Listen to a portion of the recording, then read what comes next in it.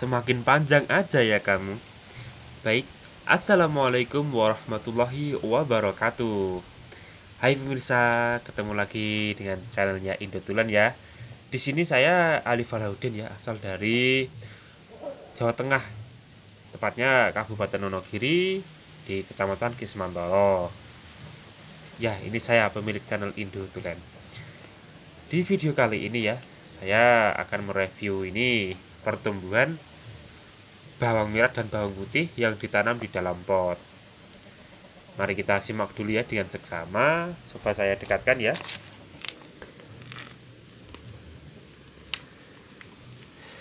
Kita simak dulu dengan seksama. Ini pertumbuhannya bagus nggak ya? Kenapa kok ini panjang banget? Terus ini kok di dalam botol? Kenapa kok akarnya di sini sangat banyak sekali? Kenapa ya pemirsa? Nah kan, ini 100% di botol ya. Cuma tanamnya juga simple ini. Nggak pakai kimia-kimia ini cuma pakai tanah saja. Jadi begini pemirsa. Di, di sisa waktu luang kita itu banyak ya. Misalkan katakan waktu 10 menit 25 menit 30 menitan untuk ibu-ibu ya tentunya ya cukupkanlah waktu anda semuanya untuk sekedar mengisi waktu untuk berkreasi. Contohnya seperti ini. Ini terlihat seperti hal sepele ya. Botol bekas sepele banget. Bawang merah bawang putih wah sepele banget cuma buat memasak tapi jika anda semuanya cerdas orang cerdas itu pada dasarnya menyulap barang bekas menjadi bermanfaat. Ya kan menyulap barang bekas menjadi bermanfaat. Nah ini saya mau memperlihatkan ini. Ini salah satu contohnya. Kita mau makan bikin mie misalkan. Kita tinggal petik aja pemirsa. Pakai daun bawang enak kan? Mau bumbu masak enak juga ini. Tinggal petik saja ya kan? Nah inilah contohnya pemirsa. Manfaatkanlah kecerdasan kalian manfaatkanlah waktu luang kalian. Ini cara membuatnya ya sudah saya buat videonya kemungkinan 4 hari yang lalu lah. Ini pertumbuhannya cepat banget loh pemirsa dia itu belum ada seminggu sudah tumbuhnya subur seperti ini. Ini resepnya apa? Cuma botol dilobang-lobangin terus dimasukin bawangnya ya. Di video saya sudah saya jelaskan sedetail-detailnya. Kemudian tinggal diisikan tanah saja. Tanahnya itu nggak perlu tanah pilihan ya. Tapi kalau ada tanah yang berada di e, selokan. Selokan itu semacam kalen lah kan. Itu ada tanahnya lah. Itu bagus itu. Di situ banyak sekali kandungan zat-zat enzim apa ya namanya ya? Yang bagus untuk tanaman gitu. Karena di situ banyak sekali fermentasi dari beberapa kandungan pupuk-pupuk ya. Mungkin dari zat-zat asam kok asam enggak asam ya semacam kompos seperti itulah bekas-bekas makanan. Jadi kan itu untuk tanaman bagus sekali ya pemirsa. Ini pertumbuhannya seperti ini cantik kan? Ya bagus sekali. Coba kita lihat dengan dekat ya. Nah ini yang bawah ini. Kenapa kok baru tumbuh pemirsa? Lah ini dikarenakan harusnya kan ini sewaktu dulu saya menanam dipotong dulu seperti ini. Ini juga terlambat saya motongnya ini ini juga terlambat ini. Kenapa dia terlambat? Tumbuh daripada yang lain.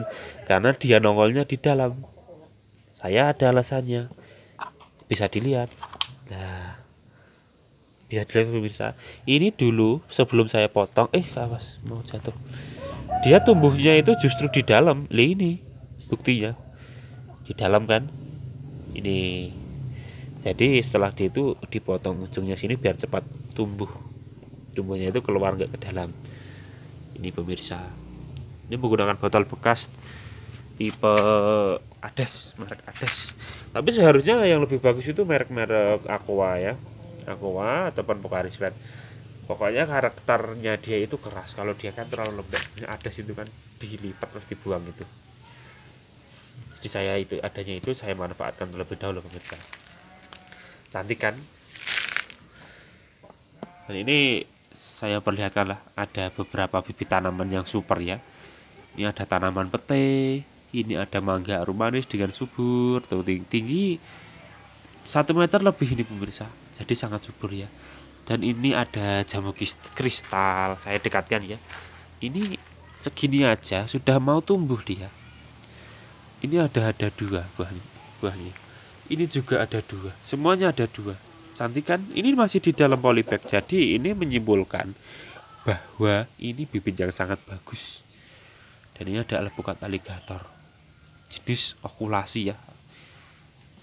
Sumber tumbuh sangat subur. Dan ini ada bibit durian. Ini dia udah mengeluarkan daun baru. Ini sangat subur sekali pemirsa. Itu ada kelengkeng.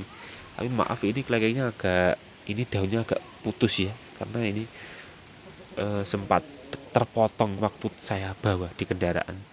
Ini ada jambu air dalhari. Ini juga sangat subur ini kan. Ini sudah mengeluarkan batang batang baru bukan daun baru. Ini ada buah nangka. Nangka ini beda ya ini nangka merah. Ini perpaduan antara buah nangka lokal dengan buah cempedak ini ada daun bidara. Semuanya sangat subur. Ini petainya juga mengeluarkan daun baru pemirsa. Namanya itu jebeng.